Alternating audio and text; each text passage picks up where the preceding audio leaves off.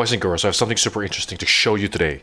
And this is where we have Amazon Loi developer. I mean, Amazon Q developer. And this is how it's going to work. Imagine this. You have your best friend forever, Mr. Hacker Loi, right beside you all of the time, helping you analyze your web application firewall logs, telling you, hey, if your GuardDuty, a threat detection service, has a finding, what can we do about it? How can we get our evidences? And can Mr. Hacker Loi help you even remediate your findings inside your AWS environment. Are you ready for that? Let's go. So this is Amazon Q Developer and you can get this and access this directly from AWS. So this is available wherever you work. So it can be in your integrated development environments or in a command line, in a management console, GitLab Duo, Amazon Q and so on. So this is really powerful and you literally have your best friend forever, Hackaloy, right beside you teaching you AWS, helping you and guide you throughout the entire process. And for today's tutorial, I'll be using Visual Studio Code with a plugin from Amazon Q. So all you have to do is select onto install and you will be able to get this up and running inside Visual Studio Code. So super easy to use. So you can see right here, I have Visual Studio Code running and I have Amazon Q plugin. So you can see the following. Ask you to review your code and see results in the code issue panels. You can even ask more questions. Say, for example, what can Amazon Q developer help me in areas of security? You hit enter on this and you can see the following right at the bottom. Have Claude Sonnet 4, so you can select on it it can run, for example, code security analysis, secret detection, security best practices, infrastructure security, helping review your infrastructure as code, even going right down to your AWS environment, telling you, hey, this is a list of things I'm seeing, and I can even help you remediate that, which we'll see in a second. Now, before we go any further, the architecture of things is so important because, first of all, your best friend forever, Mr. Hacker Loi, is going to access over into a service or server and is fronted by Amazon CloudFront ACDN. And this CDN is also protected at the same time by Web Application Firewall. And after which, it is going to be streamed over into EC2, where you have your GET request, POST request, and so on and so forth. And what's going to happen here is the ability to stream the web application firewall logs over into CloudWatch logs. And what's going to happen here typically is that it takes a lot of skills, a lot of time to analyze what's happening. And this is the magical part. This is where Amazon Q can really help us. So Amazon Q is going to be able to help us analyze into CloudWatch logs and say, hey, out of all these different events that are happening within your workload, we are identifying this set of IP addresses that are malicious, and we want to help you block that out. And Amazon Q can do all of this automatically and really quickly for you. And now, before we go any further, kids, remember to put on your AWS thinking cap so that we can go ahead and get started. Now, the first thing you need to do is to authenticate into your AWS account through, say, for example, the terminal. So you can do a right click, new terminal, and all you have to do right now is enter, say, for example, AWS configure SSO. So hit enter on this, and you have the session name, you have all this different information. So I can enter, say, for example, the session name is Hacker Loi, and then there's a pop-up, and then click on the following of confirm and continue, and click allow access, boom, done, request approved. So if I head back over into my Visual Studio Code, you can see the following right here. There are four AWS accounts available to you. So in my case, I am going to be using Developer Loi and I have the default client region. All right, so you can enter on that, output format, hit enter on that. Profile name, I can say Hacker Loi, hit enter on this, and then done. All right, so to verify that everything is working as intended, all you have to do is enter, say, for example, AWS S3 ls dash dash profile, Hacker Loi, hit enter on that, and you can see the following. Okay, so this is the part where we can see, for example, whether we have those services, all right, that is up and running. Okay, so I enter the following S, so it should be for some S3, LS, dash dash profile, hacker Loi. Okay, done. So we have managed to list now all of those S3 buckets, and we have, for example, in this case, we're authenticated, we're authorized, we can access the AWS account to help us run analysis. So right here, we're really excited. Let's go ahead and get started. Start up my CloudFront distribution as well as a stopped EC2 instance in AP Southeast 1 with WordPress name.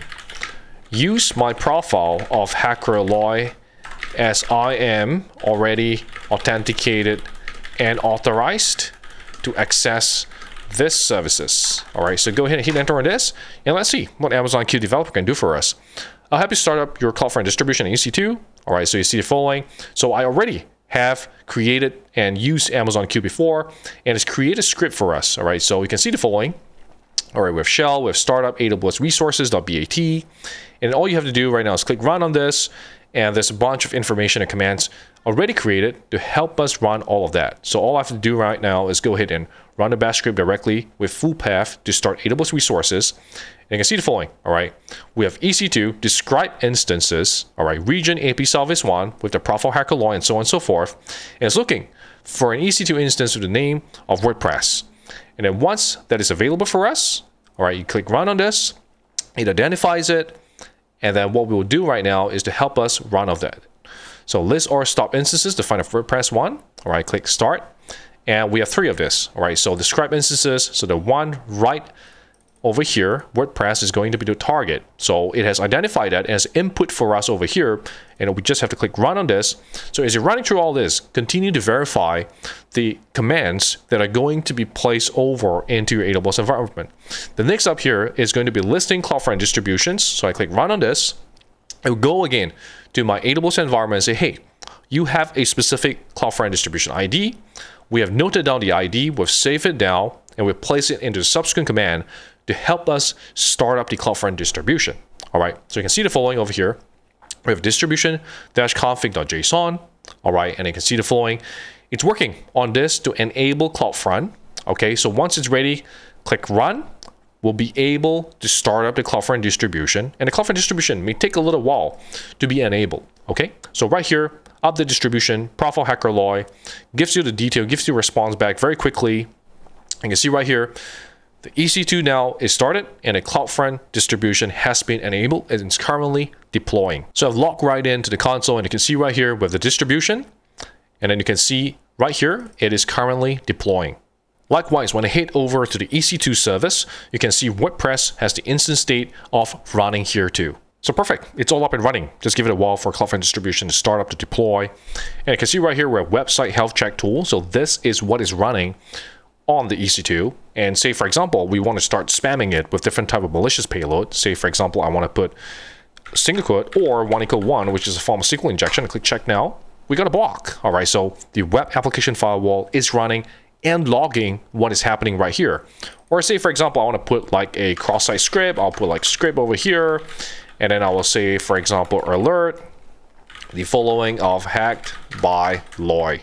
All right I put something like this I hit enter on that once again, 403, error.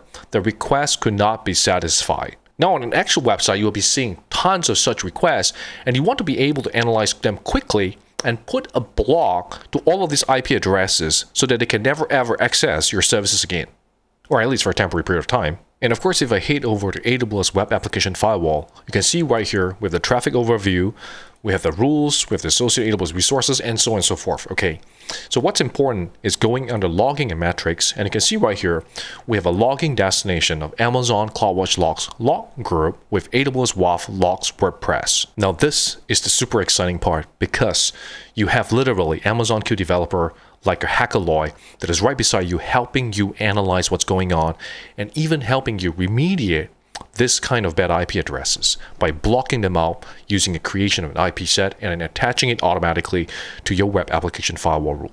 So right here, all you have to say, I would like to analyze the top offending IP address says, all right, in CloudWatch logs group for my WordPress site.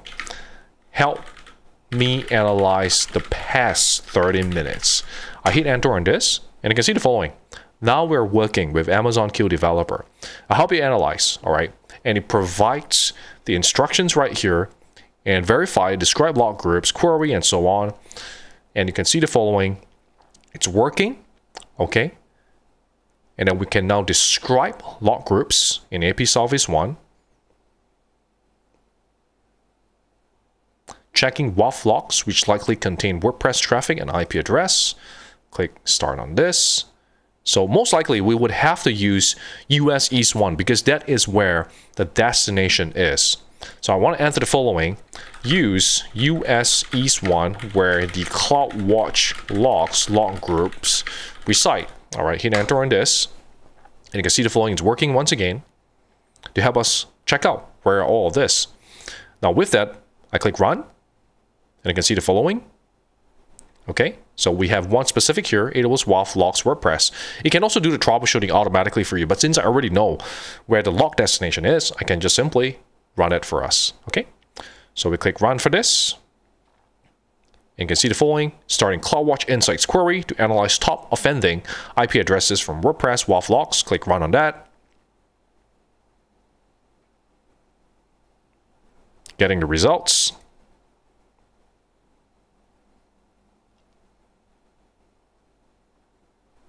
Running a more detailed query to get IP addresses and their request counts with blocked actions. Fantastic. Mm-hmm.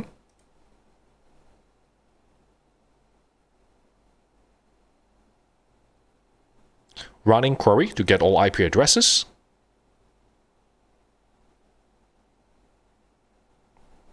Mm-hmm. Perfect. So you can see right here, total requests are four requests, two blocked requests that you saw earlier, which is the SQL injection of cross-site scripting. All right, so you can see the following information right here. What is the offending IP address? I would like to block that offending IP address. Can you help me place the offending IP address into an IP set and add that into my WAF web ACL. Hit enter on this. All right, so we want to uncover the offending IP and automatically just block it out.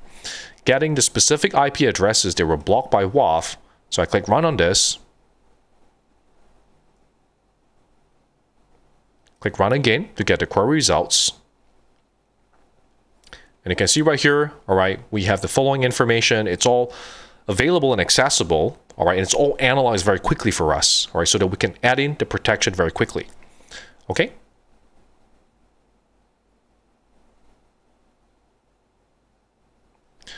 All right, try a different approach to get a raw log entries, so it even reads and understand the results, and then if it has to, it will try and attempt other methods for you. Perfect. So it found the offending IP address 121.6.244.106 from Singapore. So that's exactly where I'm coming from. All right. So this IP was attempting SQL injection and cross-site scripting attacks on CMD3.php. Now I'll create an IP set and add it into your WAF web ACL. Click run on this.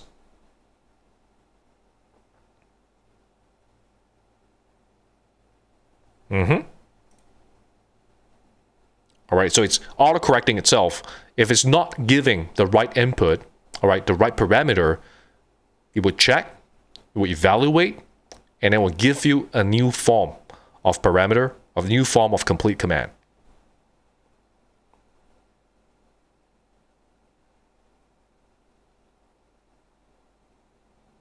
It's working right now, all right.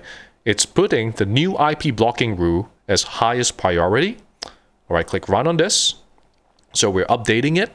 All right, so you can see right here, parameter validation fail, invalid length for parameter description value and so on. Updating the web ACL with the corrected configuration. So it's correcting itself, correcting the configuration for you. Okay, perfect. So it states the following. I've successfully identified the offending IP address, the attack details, created the IP set, and then now we've updated the web access control list. All right, it's now permanently blocked at the WAF level. Any future requests from this IP will be immediately blocked before reaching your WordPress site. So this is amazing. Let's go ahead and verify the configuration in the console. Right here, I'm back into the WAF Web ACL and I can hit over into rules and in rules, I can do a refresh over here. And let's see whether we have the new rule being added for us. Click on the rules again. Done. Block malicious IPs. I clicked on this. This will show us the IP set. And this is it. It's all done fully automatically for us. Now I hit back over into Kali Linux and I try to run any form of command, or even trying to access the site, I do a refresh of the site, I click a resend, boom, 403, we are now permanently blocked. This is absolutely amazing. Imagine your best friend forever, Hackaloy, can now live in your IDE through Developer. Go ahead, try it out, let me know how it goes.